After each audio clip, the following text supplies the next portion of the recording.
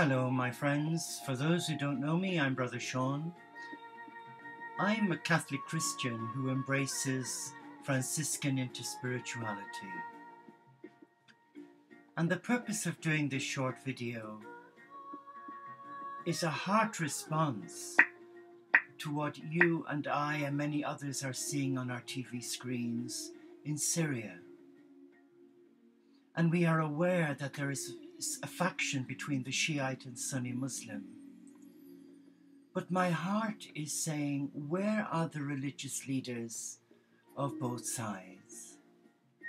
Where are the mullahs for the Shiite and the Sunni Muslims who are killing one another? If not in the name of Allah, then they are desecrating the teachings of the Holy Prophet Muhammad. In my own vulnerability, I feel so helpless for them. There's a part of me that wants to go to Syria and bang their heads together and say, What are you achieving through this? We know there is corruption. We know there's a complete disregard for the sanctity of life. And it's all tit for tat. We know the United Nations have been involved, and their cry for clemency and mercy have fallen on deaf ears. So, who can the innocent people of Syria turn to? Who can the whole family of God, representing all faiths and none, do at this time apart from prayer? It would be a miracle if all the religious leaders of all the world religions were to unite and hold a summit and plead with the religious leaders of the Shiite and Sunni Muslim and challenge them in the name of Allah. Is this the teachings of the Prophet Muhammad? I know it's not. You know it's not. So why aren't they hearing that? It reminds me so much as a young monk when I lived in Northern Ireland in Warrenpoint.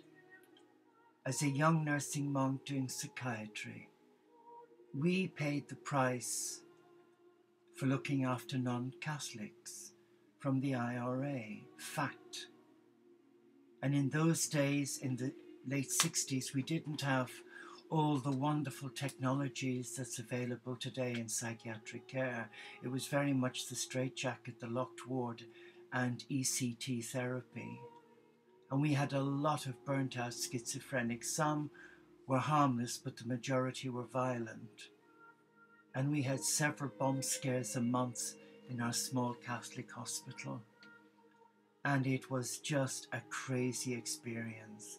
At that time, I was 21, and it was nerve wracking trying to find patients who were running wild in the village. So A, that they wouldn't do harm to themselves, and B, that they wouldn't do harm to others. So I'm familiar with the conflicts that we had in Northern Ireland between two factions within the Christian family Catholic and Protestant, but it wasn't religion, it was evil. And that's what's happening in Syria. The evil one is planting seeds of despair, revenge, and hate for the children of God. And it's my belief that we cannot sit and just watch this on our TV screens.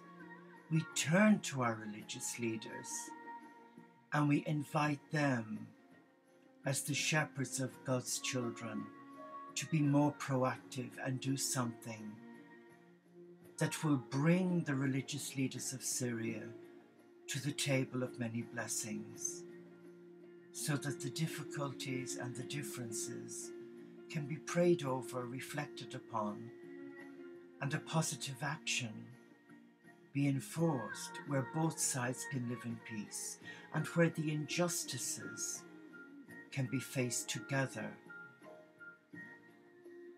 I want you to pray with me that we will see an end to this needless violence.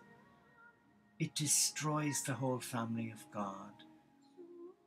And it gives the non believer ammunition to throw at a loving God.